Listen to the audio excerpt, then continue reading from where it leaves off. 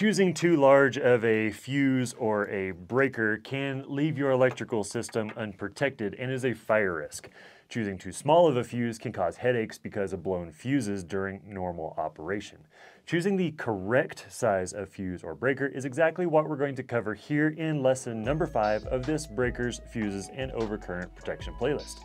My name is Nate and welcome to the Explorist Life Mobile, Marine, and Off-Grid Electrical Academy. Let's get started. Before we dive into the math of how to size fuses, it's important to understand that a lot of manufacturers of chargers, components, devices, etc., they may make their own fuse size recommendations, and most of the time it's a really good idea to just follow those recommendations unless you have a really good reason to, well, not follow them. Uh, I would say a really good reason to not follow them is if the fuse size recommendation, if that fuse size doesn't exist or it doesn't exist in the uh, type of fuse that you're going to be installing. Uh, for example, I saw the other day a charge controller that recommended a 33 amp fuse, and you're going to have a really hard time finding a 33 amp fuse. I don't know what they were thinking whenever they did that. But we're going to dive into the math and find out how we can determine a range of fuse sizes that will be appropriate for the wire size uh, that we're using. And then you can sort of use that in conjunction with any kind of manufacturer's recommendations because it's always good to follow those as well. Let's get started. So every wire has, you know, its battery side and its load or charger side. And based on what we've got going on here, we already determined that this is a two gauge wire that's powering that 100 amp device that's on this side. Now it doesn't matter if this is a load or a charger. All we need to know is that this wire needs to be able to carry 100 amps from either this load or charger. And from our previous calculations, like we talked about in how to size wire, we've also determined that two gauge wire is the most appropriate wire size here for this load or charger.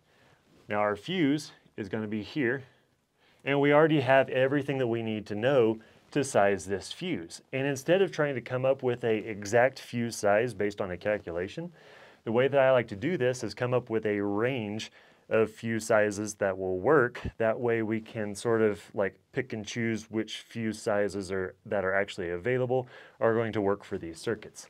So we're going to need to come up with a minimum fuse size and a maximum fuse size.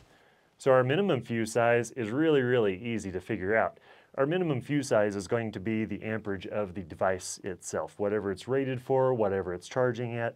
If it's a 100 amp charge controller, the minimum fuse size, size is always going to be the size of the device itself.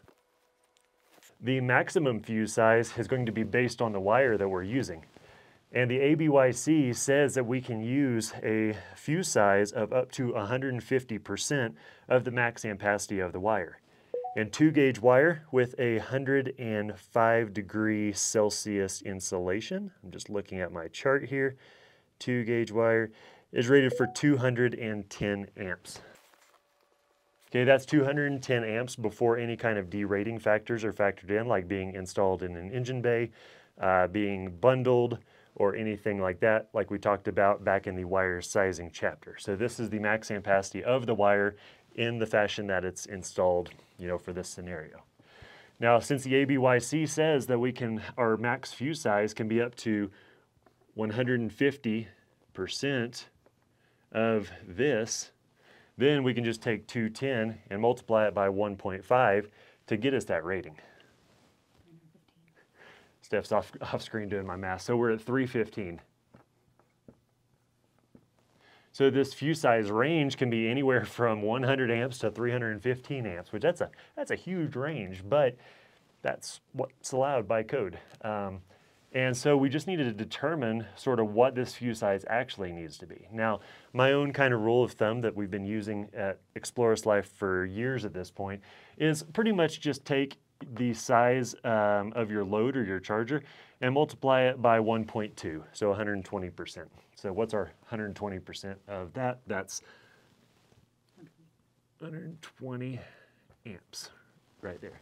And so I'm going to try to get a fuse size that's about 120. Now, 120 amp fuse may not exist in a mega fuse size, and so I'm going to say, well, I'm going to just round up, round up to the next available fuse size. So that's going to be 125. So 125 mega uh, amp mega fuse, those are available pretty commonly, uh, as is a 150 amp mega fuse. So we can kind of see that 150 is also in that range. So this is sort of the recommended, but you know, there's a little bit of wiggle room that you can sort of round up to uh, the next fuse size given that it doesn't exceed this 315 amp figure.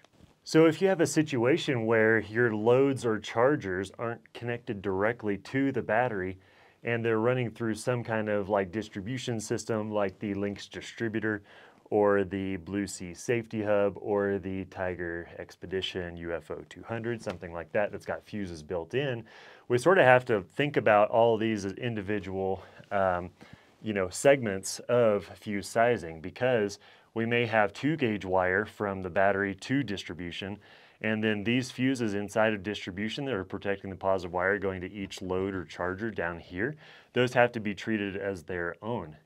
And the thing to sort of think about here is they have to be separate. They have to just do all the calculations uh, the exact same way that we just talked about, but we just do them for each particular circuit. So I usually like to start this direction out on our loads and chargers first. So we're just going to do the same thing. We know that we've got a 50 amp fuse or a 50 amp load or charger here. And so we have to find our minimum and our maximum fuse size um, uh, fuse recommended fuse sizes um, that range to work within. So that's 50 amps is our minimum because we have to have at least 50 amps flowing to or from this load or charger here. And so then we can figure out our maximum. For six gauge wire with 105 degree insulation, that's 120 amps. So 6 gauge wire with 105 degrees Celsius insulation has a max ampacity of 120 amps before there's any kind of derating factors like being installed in an engine bay or bundled conductors like that. So we can say that 120 amps and 150 percent, that gives us, Steph? 180. 180. So our fuse size range for this particular fuse right here protecting this positive wire going to this 50 amp loader charger can be anywhere from 50 amps to 180 amps, which that's pretty good, pretty big range. And then so knowing that we have this such a big range, I'm just going to take 50 amps and sort of my own rule of thumb is 50 amps times 120%. Steph, where are we at there? 60 amps. So that's 60 amps. So our sort of recommended ballpark of fuse size here is going to be 60 amps. And a 60 amp mega fuse for the Lynx distributor that exists, and that's actually exactly what we have here. And so that would be perfect. That's going to work wonderfully. But, you know, if this figure recommended 65 amps, you know, maybe I'm going to jump bump up to 80 amps. And that 80 amps is still within that range is still going to work just fine. So the same thing would be over here because it's just copy paste more or less 50 amp 6 gauge. You just it's the same thing. We would just know that that's also going to be a 60 amp fuse. Where it sort of starts to get tricky here is, um, you know, if this is a load and if this is a charger, then you have to do the calculation based on how much current is actually flowing through this wire at any given time for most cases, I try to consider everything as being a load, even if one of these is a charger, because then it gives you, you know, without any shadow of a doubt, what size this fuse should be. We could say that if that were the case, then this is going to be flowing 100 amps because we have 50 and 50, so this one needs to be capable of flowing 100. So 100 amps, 2 gauge, minimum fuse size, 100 amps, maximum fuse size, you know, we already determined that earlier, uh, 315. If you don't remember how we got to that math, you can just back the video up just a little bit. And then that's where we're at, you know, and then that fuse size right there, you know, that could potentially be, let's call it 120. And then that's going to fuse everything properly. The fuse size is going to be small enough that we're not having any kind of like risk of overloading the wires, um, but it's not going to be so low that it's going to be regularly tripping or um, activating any of these fuses. And you're not really going to have any problems if you're fusing it like this. Everything we talked about just now is for DC circuits, so direct current circuits. For 120 volt AC circuits, it's totally different and it's actually way easier. Uh, the breaker size is going to be similar with, uh, it's based on the load, but it's also mainly based on the wire size because the wire size is truly indicative of how many amps the load is pulling. So if you're wiring your circuit with um, 14 gauge wire, it gets a 15 amp breaker.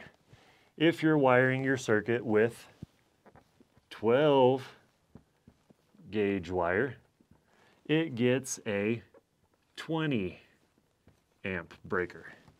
And if you're wiring with a 10 gauge wire, it gets a 30 amp breaker. And lastly, a 6 gauge circuit gets a 50 amp breaker. That's really pretty much all there is to it. Like these can sort of change in much larger systems, uh, much larger industrial or much larger residential systems. But that's sort of what not what we talk about in this channel. For any kind of like campers or uh, motorhomes, boats, uh, tiny houses, off-grid cabins, this is pretty much where we're living. There's really not a whole lot of derating factors that come into play uh, when we're talking about 120 um, AC circuits or 120 240 split phase circuits. Now this is on the North American power grid, more or less, um, for um, all of you overseas. Um, it's going to potentially be a little bit different, but this should give you a starting point and a ballpark to get going on that. So that pretty much wraps up fuse and breaker sizing, and I hope that was helpful. And I you know, just want to say that this stuff is kind of complicated and it's worth noting that if you just want to get your system installed and be good to go without kind of figuring out the math behind this, all of the kits and such at shop.explorist.life in our store, they have all this stuff figured out for you and the proper sizes of fuse and breakers already included, but I think this is good to know just for the sake of education. Education is always good. So I hope this was helpful and we'll see you next time.